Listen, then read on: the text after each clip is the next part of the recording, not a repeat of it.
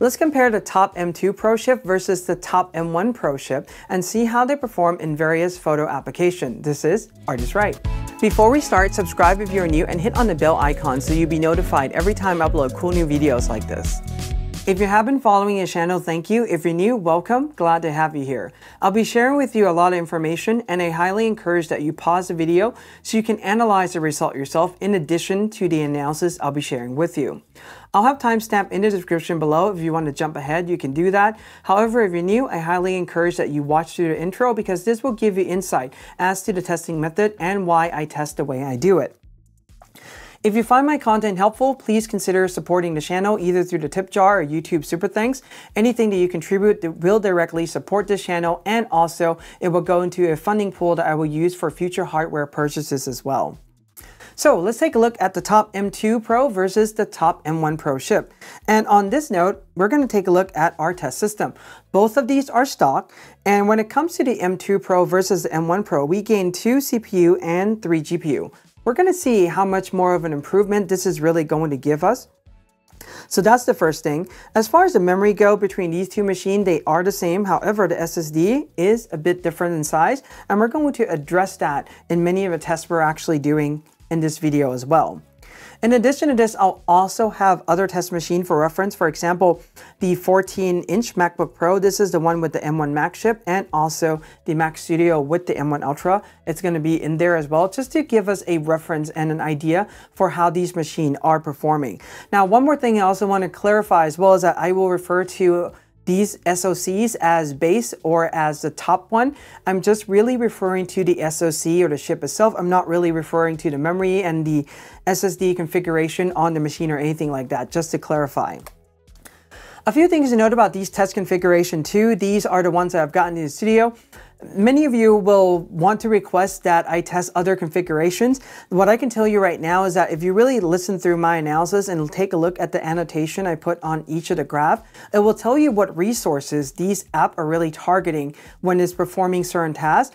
And this will give you a really great idea as far as if that component, if you're upgrading it or not, will be affected. So those would be the things to really think about. And I would just use data extrapolation to really see how the machine is going to perform because it's really a mathematical impossibility for me to get every single configuration in to test in the studio.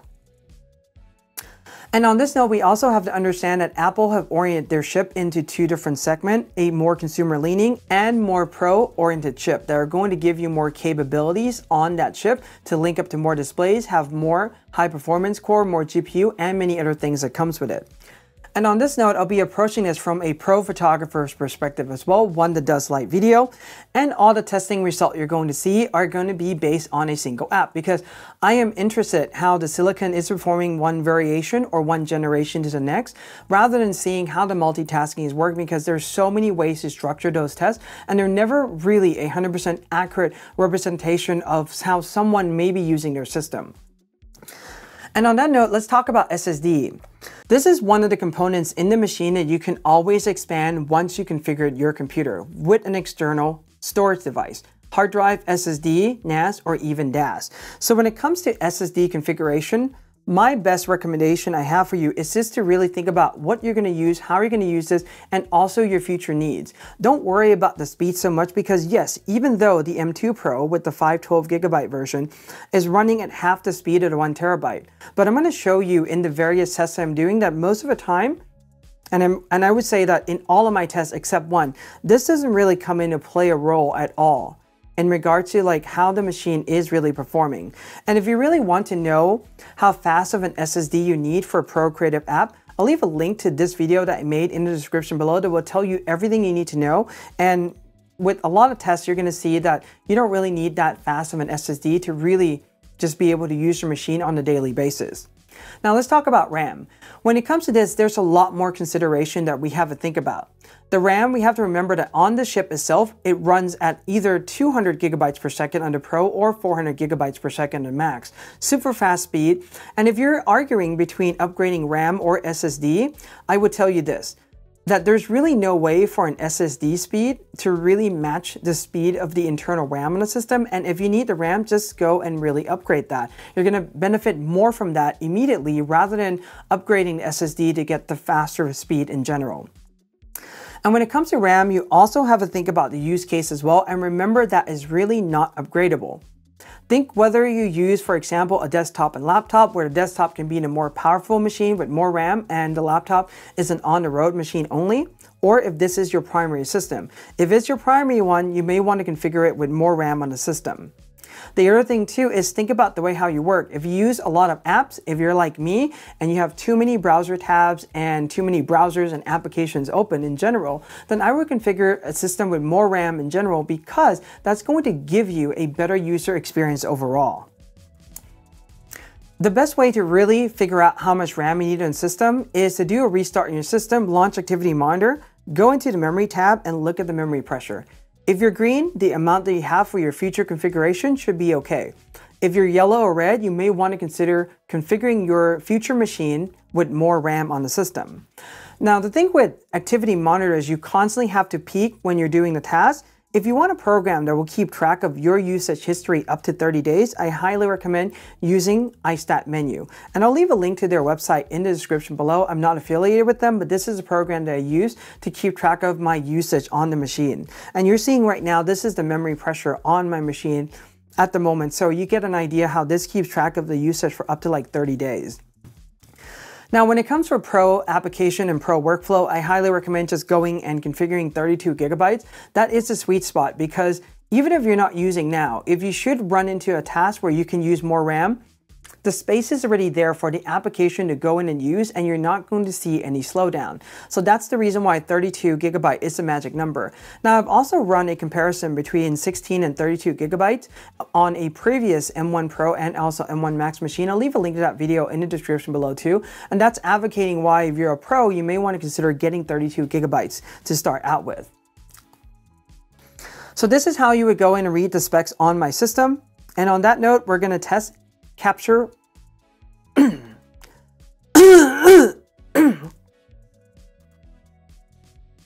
And on that note, we're going to take a look at Lightroom Classic. This is testing on Ventura 13.2, Lightroom Classic version 12.1. All these computers support full hardware acceleration. So this is the timing between two machines. It is quite significant actually. This comes out to around a 36% improvement in rendering one-to-one -one preview time. So what Apple have done with the extra 2 CPU and also the frequency and speed is really making that big of a difference. However, if you have watched my other videos already, you will know that this is probably one of the rare tasks that shows this big of a boost in performance. And I think that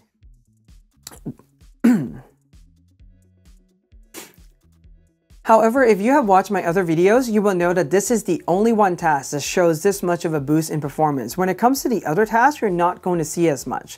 Let's take a look at this compared to our reference machine. So the Pro, M2 Pro and the M2 Max is performing just about the same. This is the 14 one, and this is really using CPU only. So the 14 one is probably running at a slightly slower clock speed or it heats up or something like that, and it has to slow down a little bit, but the timing is just less than a minute apart. No big deal at all. Now, what's interesting here is that the M2 Pro with this 12 CPU, it's really coming close to the M1 Ultra, and that's something very interesting to note. And you can see there, that's the result for the M1 Pro that I also shared earlier as well. Here's the result when it comes to export. I would say that this is closer to each other than the previous result, and this really accounts for around a 15% improvement. Now, when we talk about percent, numbers can seem fairly large when we're looking at percentages, but this really comes down to a little bit over two minutes. I don't think that's really that big of a deal, especially if you already have the M1 Pro. I mean, 15%, it's 15% improvement, but if it really comes down to like a minute or two, it's not really that big of a delta for us to really consider upgrading. Let's take a look at this in comparison with all our two other reference machine. This is the 14-inch MacBook Pro with the M2 Max and the M1 Ultra still sits at the very top, but you can see that the machine itself, the spread, it's not that far off from each other at all. And especially if you're considering the 14 inch with the M2 Max one, I mean, you're really talking about maybe about 30 seconds, 35 seconds apart between these two, the M1 Pro and the M2 Max and 14 inch. So it's not really that big of a variation. Now let's take a look at Lightroom Classic HDR merge. For this, the timing are going to be just about the same. They're only about a second apart, and this I would attribute it to a margin of error. And with the one or two seconds apart you're seeing here, you're not really gonna notice this on a day-to-day -day usage. All right, let's take a look at Lightroom Classic Panorama Merge. This is taking 14 Nikon D810 and merging this into a 314 megapixel file. So for this, the timing between the slower SSD, mind you, and the faster SSD, capping this at 16 gigabyte, the same amount of memory between these two, the timing is exactly identical. So if you're doing a lot of these, there's really not a lot of gain to really go to the newer M2 Pro, especially the top chip, because we're not really seeing that much of a performance variation between these two. However, one interesting thing to note is that if this is a task that you do a lot of, going from 16 to 32 really cuts the time by about half. Doubling the memory from 32 to 64 cuts it down even further. And those are just things to think about. If you do a lot of these tasks, it may be a good idea just to upgrade the amount of RAM that you have in the system, but that one second variation, I mean, SSD speed is really not playing a role here. So this is an intensive test. Let's take a look at Lightroom. This is a cloud version running Ventura 13.2 and Lightroom version 6.1 support full hardware acceleration. Now for Lightroom cloud version, it's really just only export and it uses CPU, GPU, and RAM all together. And when we compare these two, they are literally just about the same. Let's add in a reference machine. So interestingly enough, the Max is running faster and that is because the Max have way more GPU core in the system, so it's being used more. It also has more memory as well, which I think this does factor into play a role, but much less so if you really think about it. And when you really bump it up to, for example, the M1 Ultra with a lot of core CPU and GPU, I mean, there's really no comparison there. So this gives us a good idea. Again, looking at the SSD size, there are speed differences, but in this task, you're not really seeing it. This is starting to paint a picture that on a daily usage, you're not really going to see these variations. Now let's have a look at Capture One, Ventura 13.2, Capture One 23, version 16.0.2. When it comes to the import speed between these two generation chip, there are a slight improvement by around 9% or so. This 9% equivocates itself to around like two minutes of time improvement. So if that is important for you, I mean, these are just some of the numbers to consider. But if you can get, for example, the M1 Pro machine at a pretty good price, I mean, for just two minute variation in import time on Capture One, it may not be a bad idea to save some money there. Here are some of the other machines as reference, so we can see that the M2 generations or the M2 Pro and Max are performing about the same because this is a CPU-based task only. These two have the same 12 core CPU on the system, whereas for instance, this one only have 10. Now, one thing about Capture One is that it never scales well because when we throw in 20 CPU cores, I mean, the time only improved from the M2 Pro by just a little bit, a little bit over a minute. So that doesn't really show us that much improvement at all. Now, when it comes to export, we're also seeing some variation, and this is a little bit faster. And the reason why this is happening is because of the GPU intense export task. And this one has three more GPU core, and I would probably argue that the frequency is running at is faster as well. This is the number that we're seeing right now, around 17% faster. So if you're using Capture One, this is some things to consider. Another thing that I will also put into the mix as well is that if you're using Capture One, it's probably a better idea to go for the Max generation chip, especially the base Max, because this has more 11 more GPU core than this one, and you're really seeing a time saving of around like four minutes or so. Now that is a bit of a price improvement, but that four minutes really account for close to around 25% of improvement in export time. That's where you really start to see the difference. And if you're, like I said, using Capture One, those are the variables I would consider. Now, what I also found interesting as well is that the Ultra is performing exactly the same as the M2 Max with Capture One because, like I said, the program doesn't really go in and utilize the resources on the system really well. So upgrading your machine to like the Max GPU to get the best Capture One performance, probably not the best idea. Now let's take a look at Photoshop. For this, I'm using Lloyd Chamber Digital Lloyd Test, and there's three tests that I'm doing. I'll leave a link to his website in the description below too, but I'm using speed, medium, and also the huge file test. So first of all, let's take a look at Photoshop speed. Now you're going to see that the charts aren't lining up perfectly, but we're really only talking about milliseconds apart time with a computer. In a real world scenario, we wouldn't even notice that any of these are creating any variations whatsoever. So speed are generally good on these machines when running Photoshop. Now what happens when we're working with a medium file size that's 15.7 gigabyte? A couple things start to happen. With these two, I'll tell you right now, when we set Photoshop to 70%, the 512 gigabyte is taking a little bit longer. And the reason why is because that SSD is a little bit slower and with 70% of 16 gigabytes available on the system, we're using more than we have already allocated to the system. So what this is really accounting for is around a three second time increase. Now, 15.7 gigabyte file, this is a fairly large file to work with already. Here's the thing though, bump this up to 90% of memory utilization in Photoshop, and the timing becomes just about the same between a fast SSD and an SSD that's half the speed. So we're really not seeing SSD playing a role in the daily usage, especially if you configure your machine properly. And if you're using these files all the time at this size, you may be better off just really bumping up to 32 gigabytes to start out with because you're going to see it at the time get cuts more than half. And you're going to save a lot more time, especially if you work with a lot of large files. And these are the things that we really need to consider. Now let's take a look at Photoshop Huge. Yes, the timing on this 512 gigabyte is much longer because, I mean, at 56 gigabyte, this is an extremely large file for anyone to be working with. This is almost four times the size of the memory on the system. And yes, with a slower SSD, we are seeing a timing increase, but if you take a look at the timing between a faster SSD and a slower SSD, you're really looking at about a minute time increase. Now that may seem like a lot, but if you're really doing this task and one takes two and a half minutes, the other one takes three and a half, and you're only doing this task every now and then, I wouldn't even worry about upgrading, especially if you're not going to use the one terabyte extra space that comes with that. So these are things to consider. And if you're considering between SSD and memory on the system, here's what happens when you upgrade the memory. To 32 gigabytes, you're cutting the time by more than half. So if you really consider upgrading, for instance, the SSD, such as in this case, or you're upgrading the RAM, such in this case, you're better off upgrading the RAM in your system and you're going to see that much more readily benefit that you're going to gain from that. And as always, if you really want the fastest possible, go with the 64 gigabyte Ultra because you're really going to get the top performance out of that one. But this is putting things into perspective. How many of us would really be working with 56 gigabyte file on a base configuration machine that's available? Most of the time, if we are working with this large of a file, yes, we've probably already gone in and upgrade the components in the machine, the RAM, the SSD in the system, and everything else.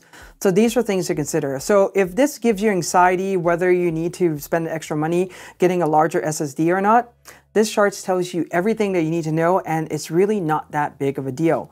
So if you occasionally run into these type of files, it's just really one minute. And like I said, not that huge of a deal at all. Now, when it comes to video work, here's what I advocate. So for those of you working video, I recommend going with the either the Max or the Ultra system because it has double the encoder decoder engine. In fact, in the Ultra, it has double that of the Max. But what you're seeing right now are export time, and this also includes any transcode time itself too that will get cut in half.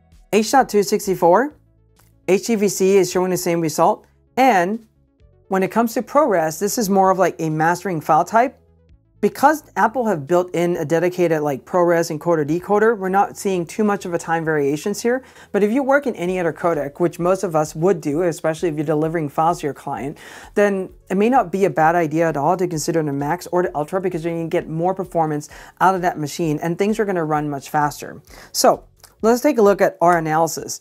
Comparing the top M2 Pro versus the top M1 Pro chip, what do I think? So first question is, should you upgrade? And that's a very interesting one because the performance gain is there, but I don't think it's quite significant. And you really have to answer this question yourself, whether gaining anywhere between 36 or like 19% in certain tasks is really worth it for you, or if the machine that you have is certainly fine. Now, for the most part, I would say to upgrade to get the higher speed alone is not necessarily something that's worth it to go through every generation. However, if you need to upgrade the SSD, the memory in the system, I think those are better worthwhile upgrade that you can consider. Now let's have a look at an upgrade chart that I have created for those of you that already own an Apple Silicon. The best way how you can read this chart is plant yourself on the chip that you currently have and you will see the arrow flowing in the various directions. One thing to consider as well is that, for example, if you have an M1 Pro or like just an M1, it's not a bad idea to consider moving or upgrading laterally within the same generation because, for instance, the M1 Max machine, the price have already dropped. And if you want the top performance right now, it's still the M1 Ultra all the way. Even the M2 Max, if you want to get better performance than that, you have to really go to the M1 Ultra at this point in time. Another thing to really consider as well, if you have, for instance, just a regular M2 chip, sometimes going, if you need, for example, more GPU in the system, and if a task really just targeted the GPU heavily, like Capture One, it may not be a bad idea for you to, for instance, jump to the M1 Max instead of moving linearly and upgrading within a generation. So there are different ways you can really approach this and get a much better machine at a really great price point. Now, this is a slide for those of you that are coming from the Intel generation, and it's an overview of how you should configure your machine based on the task that you're really using. Lightroom, Lightroom Classic, you can see the chips going down from good, better, best for each of the generations. So Pro is going to be really good. The better one is going to be Max because it can really go in and use the GPU on the system. And if you want the top performance, it's going to have to be the Ultra. When it comes to Photoshop, what you really need to think about is just the memory. The Pro and the Max will run just fine. However, if you need 64 gigabytes of memory, well, you have to consider Max because there is no way to configure the Pro with 64 gigabytes of memory. When it comes to Capture One, I highly recommend getting the Max chip because the Capture One can go in and utilize the GPU in the system and you're going to get a much better performance gain when you give it that extra GPU. However, what I would advise you not to do is upgrade to the top chip for the respective M1 Max and also the M2 Max. I would choose the base GPU configuration because that's going to get or give Capture One the best performance. And if you're working with video, either the Max or the Ultra right away because of that more encoder decoder engine that's going to really benefit you when you're doing file transcoding, exporting files, and everything like that. As far as RAM go, Optimally for Pro, sweet spot 32 gigabytes. If you can work with 16, more power to you. But in general, for pros, especially if you're doing this for revenue, I highly recommend going at least 32. And for SSD, my magic number I generally recommend is one terabyte because 512 is really crippling, at least for me anyway. But I know that many of you can work in 512, and if 512s work for you, don't really have to go and upgrade it to get more speed as I've already showed you in all these tests. So anyway, remember that when it comes to these machines, we're now getting into an era where the computers have to be configured in a way that we can maximize use out of it. So those are some of the considerations and the result from the top M2 Pro versus the top M1 Pro chip. Depending on where you're coming from, you may want to upgrade to this generation, or if you're actually thinking about getting a new machine anyway, like I said, an M1 even though it may be slower in some of the tasks, it's really not slouching that much behind. And if you can get, for example, an M1 Pro with more RAM, that's a similar price to an M2 Pro, and you can use that, I might actually do that instead of actually just directly going to the M2 Pro, the top configuration chip. Anyway, those are some of the thoughts I want to share with you. I hope you find this helpful. If you have any questions or comments, leave them below. Give this a like, subscribe, and hit on the bell you're new, and in art we trust.